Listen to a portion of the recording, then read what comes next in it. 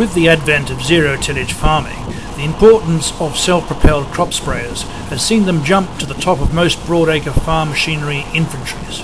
Acknowledged as big-ticket items, however, they must justify their worth by covering huge daily acreages, dovetailing with a property's weed control program, plus offering previously unheard of levels of technology. We've got all our boom functions here, um, our boom sections, switches, boom centre boom section. These are all our boom fold functions. This is the main, our instrument array is here. We have another panel that we can scroll through that's got other um, digital information on the machine. What sort of speed were you travelling at? Um, I was in fourth range at that time doing 36 kilometres an hour.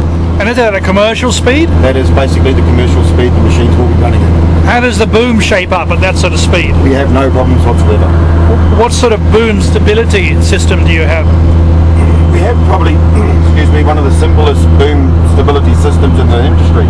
Um, we one, have one centre pivot bearing in the centre with two springs and two shock absorbers. That's all we've run.